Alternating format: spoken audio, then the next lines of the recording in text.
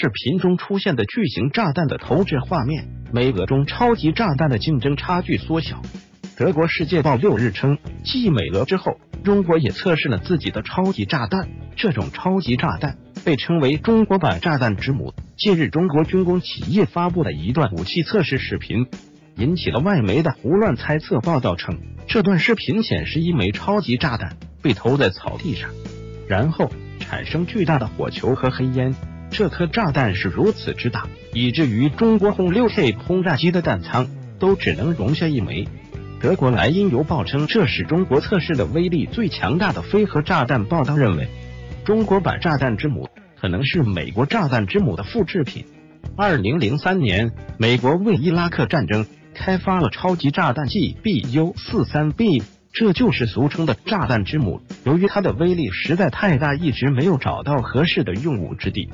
直到二零一七年四月，美军还在阿富汗投下一枚炸弹之母，摧毁了伊斯兰国的地下系统。美国总统特朗普当时对此表示感到自豪。炸弹落地后的爆炸效果，美国国家利益网站五日称，美军的炸弹之母长九米，属于温压炸弹，依靠冲击波。而非金属碎片来造成伤害，它也是美军武器库中最强大的常规武器。二零零七年，俄罗斯宣布测试了一种威力更大的炸弹之父，爆炸当量高达四十四吨 TNT 炸药，是美国炸弹之母威力的四倍。德国新闻电视台称，中国军事科技又迈出一大步，中国复制西方武器的时代已经远去。报道称，中国的超级炸弹。比美国 GBU 四三 B 更小，重量也更轻，它可以装载于轰六 K 的武器舱内。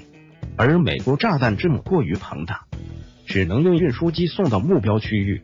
空投对于中国这种新武器的目的，外界更是猜测不断。英国《每日快报》六日称，这是中国向美国发出的军事警报，炸弹之母足以摧毁美国的防御青木。